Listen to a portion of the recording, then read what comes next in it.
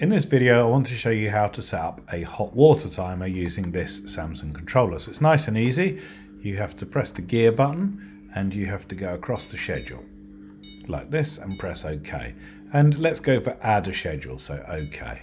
So a daily schedule is to do with hot water and a weekly schedule is to do with heating. So let's do a hot water first. So you go OK.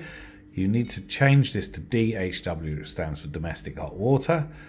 You then go to this one here and you've got a choice in off and power and on. We've got economic as well, standard.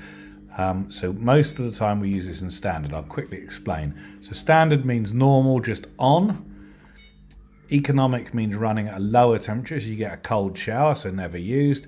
And power uses the immersion heater. So we want domestic hot water standard, and we're going to start that, for instance, at 2, 10 p.m.